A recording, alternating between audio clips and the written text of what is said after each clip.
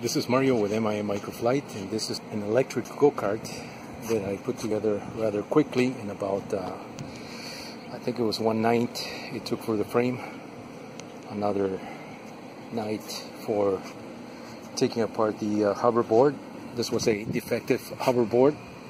As you can see, it's got the original um, base uh, plates, so I decided to reuse that. If you've seen uh, some of these hoverboards, uh, the aftermarket uh, go-kart external assemblies that are attached to the um, hoverboards, it's kind of a similar situation, except that this is a full go-kart, meaning it's got steering that steers the front wheels. And this is uh, rather unique because I used perforated uh, tubing. The only thing with this tubing is that uh, I had to bolt uh, these sections here. I had to cut this, bend it, bolt it here, and I had to make these brackets out of the same tubing. This is telescopic tubing, by the way, and this tubing right here, one one and a quarter square tubing, and this is one and a half square tubing. That's why this fits nicely over that one like that with just a bolt here. And so I did this because I don't have welding equipment, so I decided just to bolt it on rather quickly, and it went pretty fast. This is just a piece of um, uh, conduit uh, that I had, just bent it and kind of rigged it in this way here, just to get an idea um, of what this would uh, do. Motors. It's a very quick and, and, dirty setup here, but it works uh, extremely well. I spend uh, the most time on the electrical uh, connections here, and as you can see, these are um, Hobby XT60s and XT30 connectors here that I use to connect uh, my batteries. These are the batteries, the original batteries that uh, came with the hoverboard. Of course, I'm only using uh, 10 of these batteries um, in series to get um, to get the 40 volt that uh, these things are driven by. Uh, these operate at 36 volts, but uh, the batteries that are supplied with these hoverboards are 21 volts per, per per 10 cells in parallel times 2 that would make up a 42 volts. So that's how this runs and this is how I have this set up here uh, in um, basically in series to give me the 42 volts that is required by this. The only thing is that I'm only I only have capacity here for 2.2 uh, amps uh, amp hour capacity versus if I had the full pack um, it would run at a 4.4 amp hour capacity so, um, I mean, I could do that, but I still have to uh, take the other cells that I took um, apart. I would have to charge them individually just to boost up that voltage because they were very low on the original hoverboard that I got, you know, uh, really inexpensive. And so I would have to make uh, new packs, but it's running just fine like that. And I get about maybe a half hour runtime on these two cells, believe it or not. Uh, it's just amazing the technology that we have these days. You know, with these um, uh, 18650 cells, I think these are Samsung cells.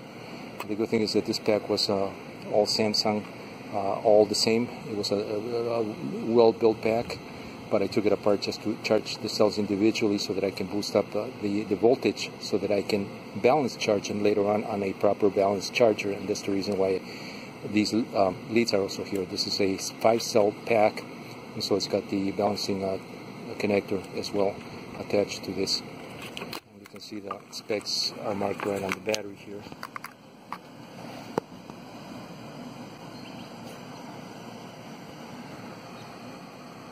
Right there. And so that's how I'm running this uh, this little uh, go-kart here. Um, the throttle is uh, when you're a standard throttle that you can buy it is uh, from Amazon. It's got a display here that uh, displays the, the, voltage. So you can see I'm at 7.5, which is I, I, decided to quit because I don't want to drain the battery too low so that I can recharge them easily. Otherwise, I have two cells up. So um, after about a half hour run between me, me and my son, we were kind of running this in my in our, my backyard here. Good thing is I have plenty of space here that I can run this uh, uh, rather comfortably and, and fun. It's, it's pretty flat. The skateboard, or not skateboard, but these scooter wheels are 120 millimeters in diameter.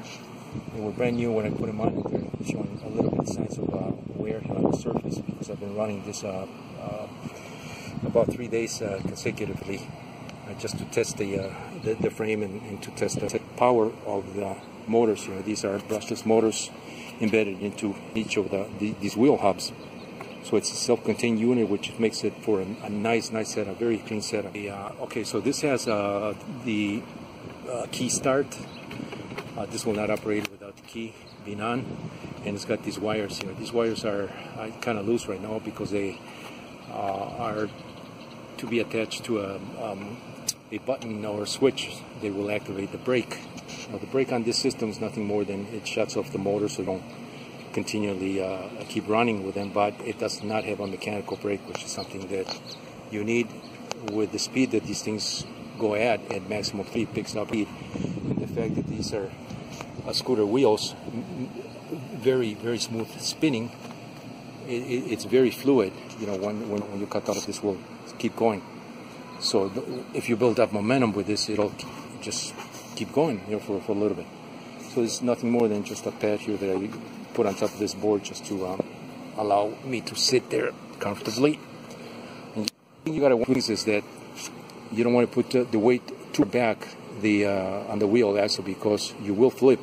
It happened to me. You know, I, I, I flipped it with this on, on an incline going up. And so you just got to be careful with that. So the distribution of the weight has to be a little bit further back.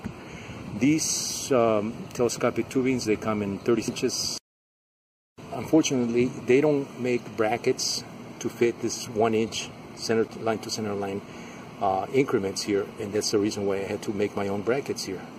These brackets here, and I had to basically fold this. And that's why you don't see this matching here, is because I mean I could cut a little bit higher, but then this would have had a, a gap here, so I just cut it so it, enough that it will, would allow me to do this connection here, bolt directly in center line with these other holes. So that's the only bad thing about these uh, telescopic um, uh, square tubing is that they don't make brackets that fit the one inch increments in hole distance center line to center line.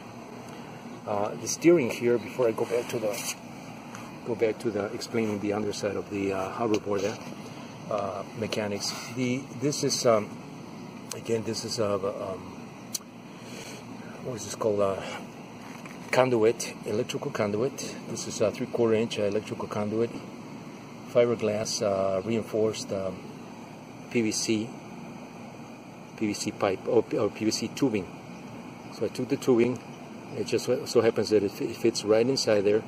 I drill holes through there, and it's tied with these uh, bolts here. They don't have nuts because, like I said, it's uh, this is a tight setup right here, and it's been holding on very well like that, but eventually I'm going to change this and put a proper uh, steering uh, mechanics here. And this was just to quickly test uh, the concept. Uh, same thing here, and this is how I'm doing my ball joints here. These will have ball, ball joints uh, eventually. You can see the PVC tubing, fiberglass reinforced PVC tubing that is that is uh, um, drilled at, at, um, at, this point here so that it, it, it connects with the conduit and there's another hole there that is drilled so that it'll pivot on this bolt here. Uh, once again, this is something else that I had to make because I was hoping to find some brackets that I could uh, manufacture these um, axle holders. But since I didn't, I just took the uh, one and a half uh, square tubing and decided to cut the side here and do uh, these uh, axle holders and steering um, um, axles this way. I mean, it works very well, uh, but it's not something that I would uh, want to keep, uh, uh, you know, um, on a permanent basis. It's great for testing the, the constant. I, I will keep these because th these do work, but these I'm going to change it with two ball links, and this will also have a, a better steering um, shaft or, or steering column this right here is a, a piece of Delrin that I had just to provide a little more smoothness here in the in the uh, uh, almost like a, a, a, plastic bearing for this tube so that uh, it doesn't wear out the metal to metal. So I don't want to go metal to metal here. So that's what that is, just a block of Delrin, which is self-lubricating and works great for stuff like this. It's just a, a stop a bolt that I put here for or stop screw to prevent this from collapsing downward and this is a piece of um, aluminum uh, hex uh, stack that I had from another project. Uh, I think this was from a uh, injection molding machine that I originally did many many years ago, and I decided to remove the uh, the heater plug from here, and I decided to reuse this as a, instead instead of wasting this this chunk of material, I uh, re-drilled the center hole to hold this uh, piece of conduit that I'm using as my steering mechanism here, and um, and drill, drill this hole so it'll go. So it's, it's, a little bit loose because from so much steering it's become loose, but this bolt is gets tight there. Uh, this again will be redone also. I have some scooters that I can take uh, that comes from these the, the, steering columns from the scooters and it would be a much better setup. But like I said, this is what I had at the time, and it's to mainly to prove the concept. So let's look underneath here.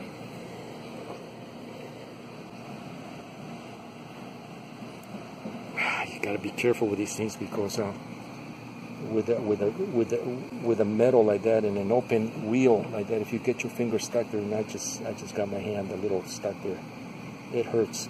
You you can you can rip your, your finger like that, especially when this is moving. So that's the reason why these scooter uh, these uh, hoverboards are covered with uh, plastic covers.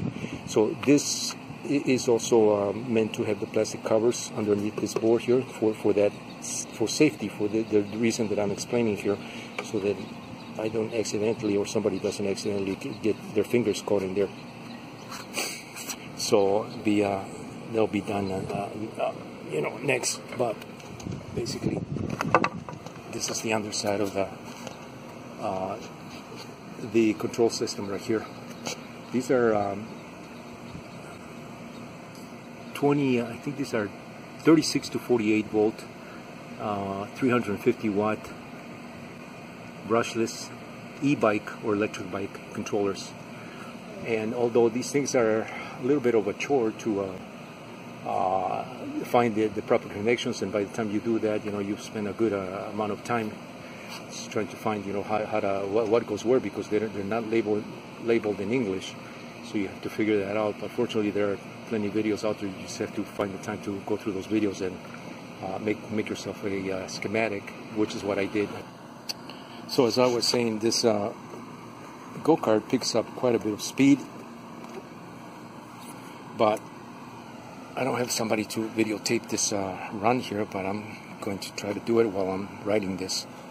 So I'm going to have to take it really slow because, you know, if you put too much throttle, it, it will move, and you've got to be holding on to something. So I'm going to try to do this with my uh, cell phone camera here. So let's start this machine up. It's uh, I still have a little juice here, but not much. Like I said, I don't like to drop this below 37 volts because um, I want to be able to uh, extend the life of the batteries uh, through charges. So here we go.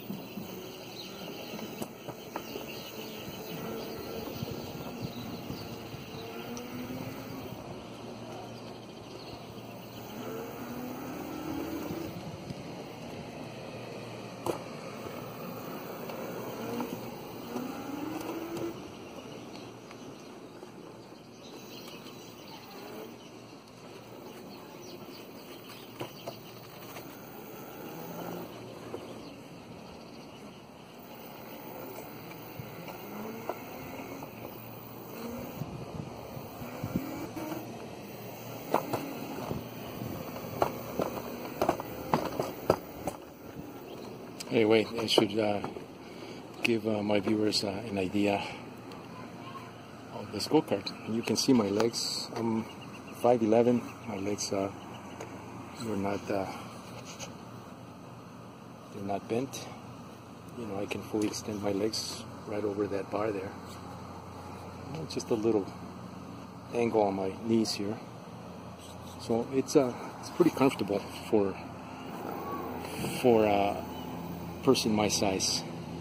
And that's the way I designed this. I mean, I wanted to be able to sit here as well as uh, allow uh, a younger person to sit here. This is not meant for little kids, you know, because it is a series. Uh, it's got some serious power. with two of these uh, brushless motors and running at 36, almost close to 40 volts. So you you really pick up speed as I'm doing here. I'm going a little bit faster in this video here.